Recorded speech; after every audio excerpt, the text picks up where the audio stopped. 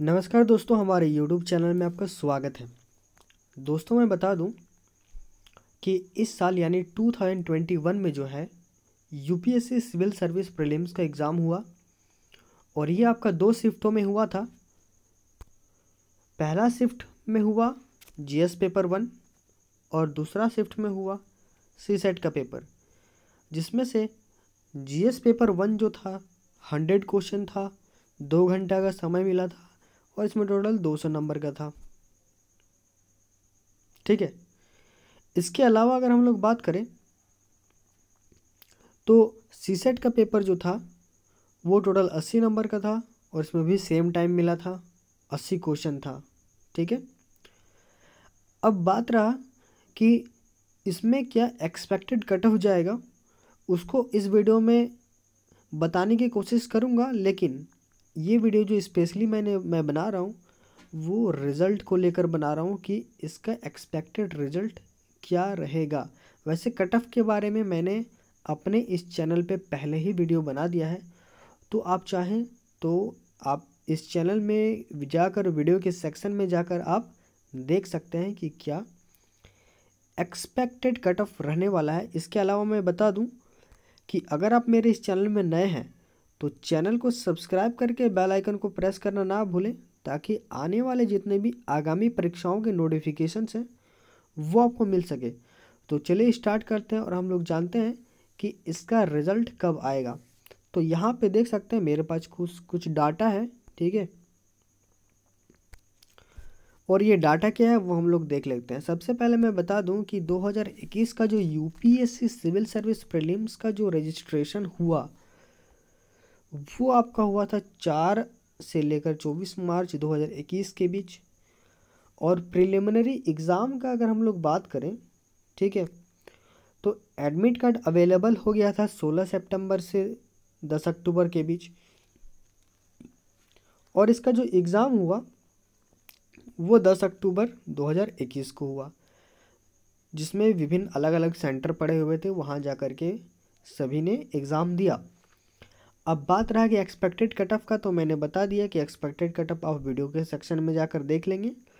और वैसे मैं रिज़ल्ट आपको बता दूँ, मैं जो रिज़ल्ट बताऊँगा कि इसका एक्सपेक्टेड रिज़ल्ट क्या रहेगा, वो मैं बताने से पहले मैं बता दूँ कि इसका जो मेंस का जो एग्ज़ाम होने वाला है, ठीक है, वो आप देख सकते हैं। मेंस का जो एग्ज़ाम होगा, वो सात, आठ, नौ, पंद्रह, सोलह जनवरी दो हज़ार बाईस को होगा।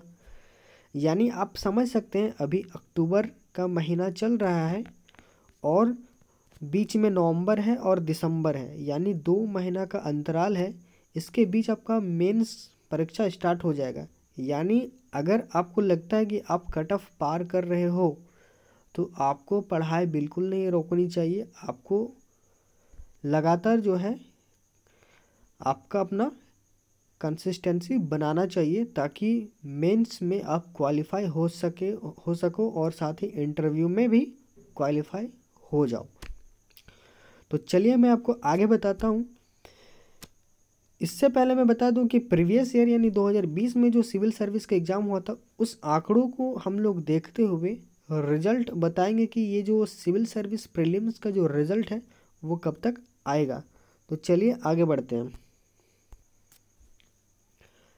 तो आप देख सकते हैं, ये जो हमारे पास आंकड़े हैं, वो 2020 का जो सिविल सर्विस का एग्ज़ाम हुआ था, उसका आंकड़ा है ठीक है? और इस आंकड़े में क्या कुछ खास है वो देख सकते हैं। इसका जो रजिस्ट्रेशन हुआ था वो 12 फरवरी से लेकर 3 मार्च 2020 तक हुआ था।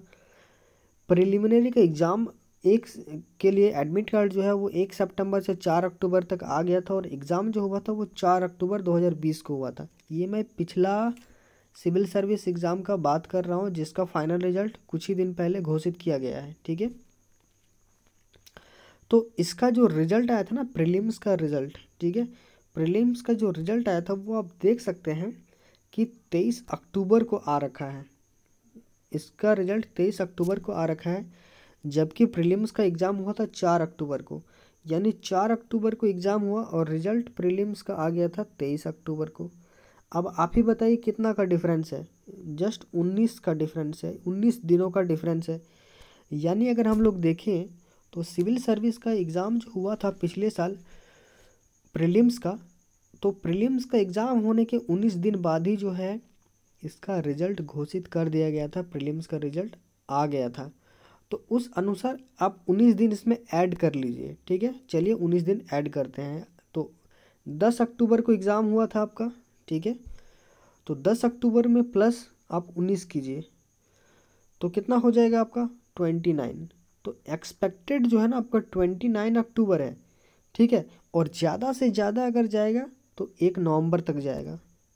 एक eleven two thousand twenty one यानी आपका श्योर है कि एक नवंबर या उससे पहले भी आपका प्रीलिम्स का जो रिज़ल्ट है प्रीलिम्स का जो रिज़ल्ट है 2021 का वो आपको घोषित कर दिया कर दिया जाएगा। इसके बाद आंसर की भी घोषित किया जाएगा। ठीक है? उसी दिन या उसके एक दो दिन आसपास। ठीक है? और साथ ही मैं बता दूँ कि उसके बाद अगर हम लोग देखें मेंस का एग्ज़ाम कब हुआ था तो मेंस का एग्ज़ाम जो है, वो सा, आठ से सत्रह जनवरी के बीच हुआ था, यानी अक्टूबर में जो है आपका इसका एग्ज़ाम हुआ था, चार अक्टूबर को प्रीलिम्स का एग्ज़ाम हुआ। और मेंस का जो एग्ज़ाम हुआ वो जनवरी में हुआ, ठीक है? आठ जनवरी से हुआ। तो इधर भी देख सकते हैं, अक्टूबर और जनवरी के बीच कौन कौन सा मंथ आ रहा है? तो अक्टूबर के बाद नवंबर और दिसंबर, यानी इसमें भी लगभग दो महीना का, यानी साठ दिन का अंतराल था। तो 29 अक्टूबर तक, यानी 29 अक्टूबर से लेकर एक नवंबर तक आपको इंतज़ार करना ही होगा। और 100 परसेंट है कि 19 अक्टूबर से 29 अक्टूबर से एक नवंबर के बीच आपका सिविल सर्विस प्रीलिम्स 2021 का रिज़ल्ट जो है वो घोषित कर दिया जाए, ठीक है? आगे जो भी जानकारी आएगा, वो डेफिनेटली मैं आपको इसी चैनल पे दूँगा। तो आपको करना होगा क्या? मेरे चैनल को सब्सक्राइब साथ ही बेल आइकन को दबा देंगे, ठीक है?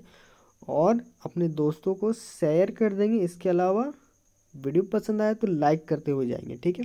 यहीं पे मैं अपना वीडियो को समाप्त करता हूँ। तब तक के लिए आपका बहुत बहुत धन्यवाद।